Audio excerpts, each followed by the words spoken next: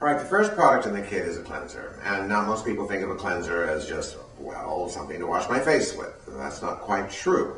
Yes, you have to, A, remove bacteria and any other kind of pollutant from the skin.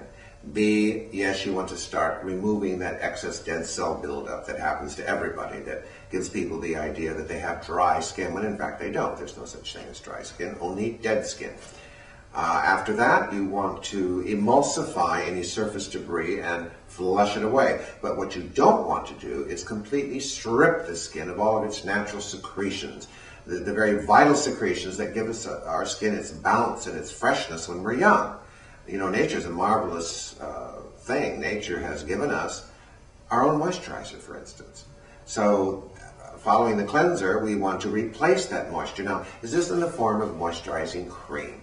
How many times over the years have women and men approached me and I'm explaining a regimen to them for their home use and they go, well, which one is my moisturizer? And I cringe at that word because the word moisturizer actually was invented in the 1960s by a New York advertising firm to sell beauty creams. Creams do not moisturize. Uh, they only feed if they're formulated properly, and of course, they offer the lipids to the skin that it may need. Uh, the real moisturizer comes from two secretions that were given to us by nature our sebaceous oil gland, and our sudoriferous sweat gland. Water and oil, carefully and cleverly occluded by nature to give us the acid mantle that keeps our skin soft and dewy and bright by nature when we're young. And as we get older, of course, these glands are either blocked by dead cell buildup or they shrink.